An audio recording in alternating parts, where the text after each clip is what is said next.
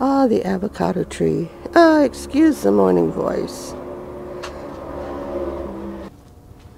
She is so big and beautiful. And I'm weighting down the branches because I don't want them to go straight up. And I finally got smart. The water either evaporates or leaks out. The water either evaporates or leaks out over time. So I put gravel in. It might leak out eventually, but it's not going to evaporate. Look at the way they twist and turn. They want to grow straight up.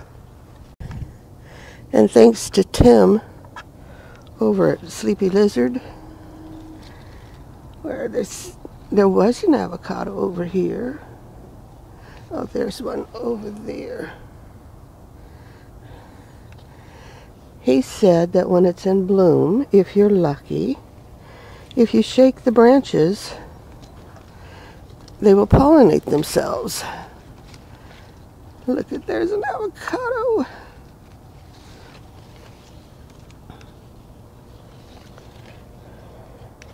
Oh, look. There's avocados.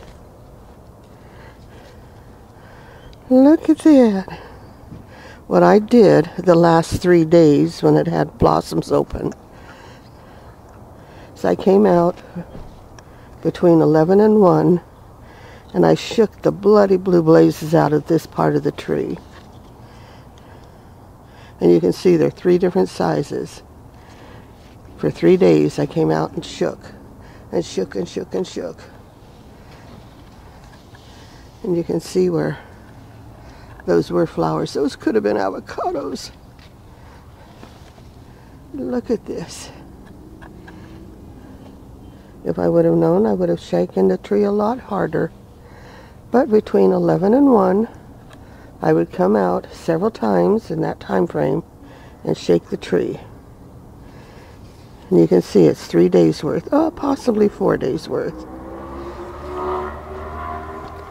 So now the next one it takes about six months before you actually get fruit large enough to eat.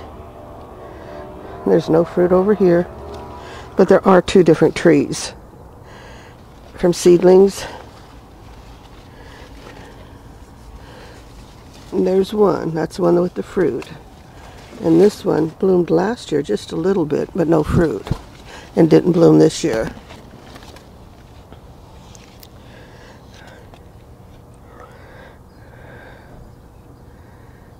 Hopefully they taste good. You never know since they're from a seed.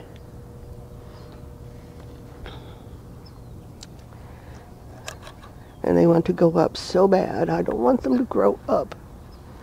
This one needs to be weighted down. Oops. Ain't gonna be weighted down now. And I found out from Tim that if you plant avocados from seed, they just want to go up, up, up, up, up. Yeah, the seedlings want to go, this is 24 feet tall. I measured it.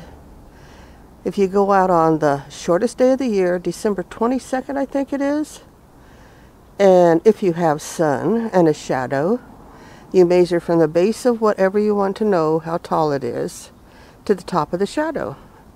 And this was 24 feet a few years ago. It's probably taller now.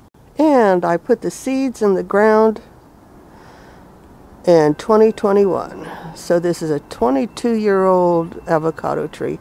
I did cut it off at 5 feet and now 5 feet looks more like 10 feet. And I have an avocado tree in here. This one I snipped the top out of real early. So there is an avocado tree trying to grow in here. Poor baby. And here's the other little avocado tree.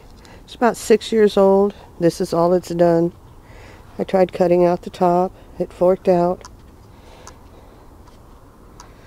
Forked out, forked out. Yeah, I might graft onto it if that one in the front, or attempt to graft onto it, if that one in the front is tasty.